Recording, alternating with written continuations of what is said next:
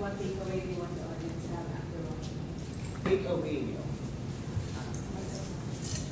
Um, well, uh, it, the, the, the show sets itself uh, against the backdrop of, of climate change nga, no?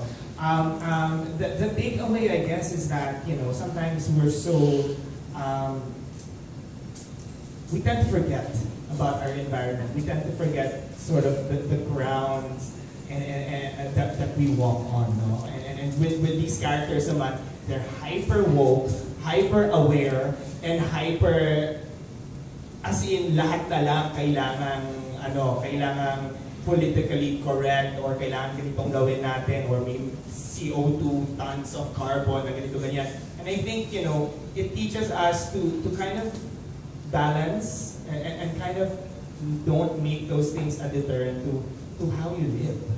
Kasi kahit papano, you know, when you let those things bog you down, you tend to forget to just breathe. Oh, Oy!